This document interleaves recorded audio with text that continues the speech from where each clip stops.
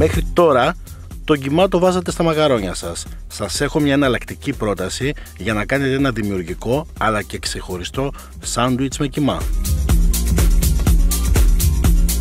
Τρεις κουταλιές της σούπας ελαιόλαδο.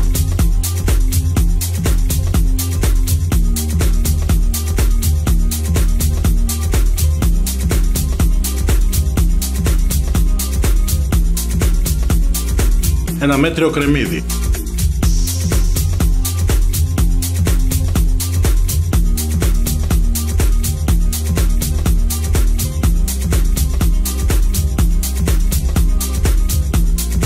Ένα κιλό μοσχαρίσιο κιμά.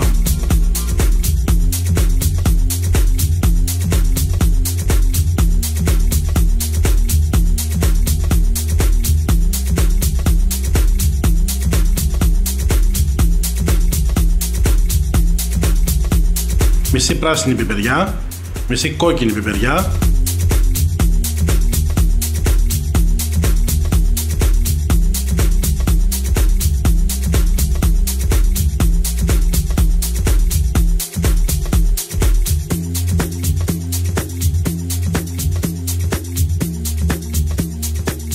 μισό κουταλάκι του γλυκού χυμό λεμόνι.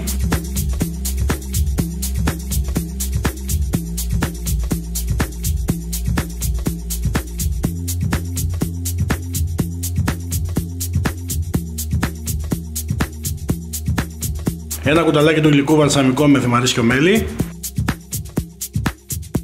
1,5 κουταλάκι του γλυκού κρέμα βαλσαμικό πορτοκάλι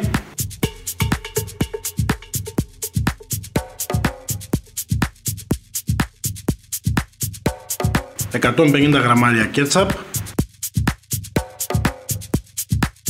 μια κουταλιά του γλυκού μουστάρδα